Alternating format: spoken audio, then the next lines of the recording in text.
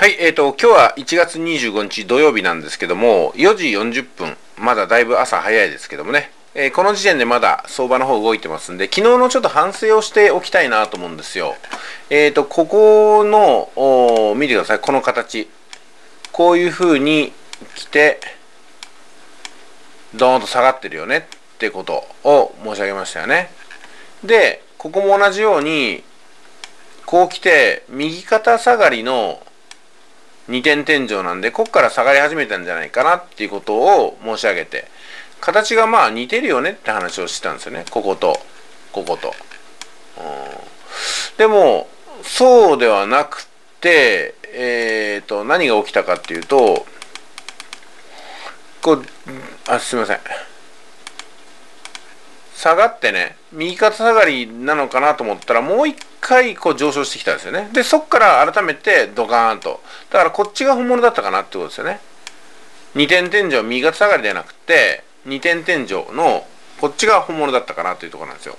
まあ当然ですけどもここでエントリーをかけていてもロスカットラインを引いてますんで損害あんまり出ずにで次の展開としてはね当然ですけどもここの天井を意識するわけですからこの力点を。ここでやっぱり入れてたと思うんですよ。上級者の方はここで気づいて入ってると。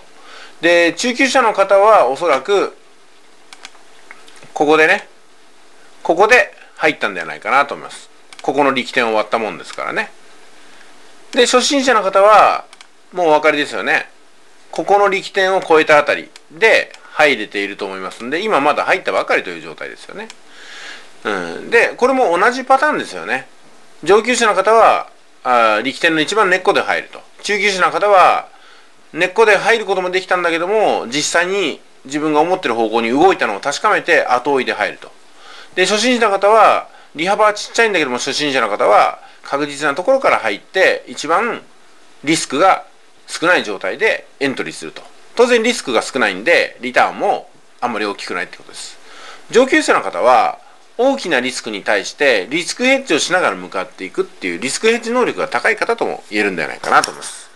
まあ、今週の最後締めくくるにね、えー、本当に相応しい相場の展開になりました。そして1回目の右肩下がりの2点天井はそうではなくて、えー、正規のね2点天井がここに現れたという形になります。標本みたいなね、本当にいい動きだったですね、今回の金土は。はい。では、また来週よろしくお願いします。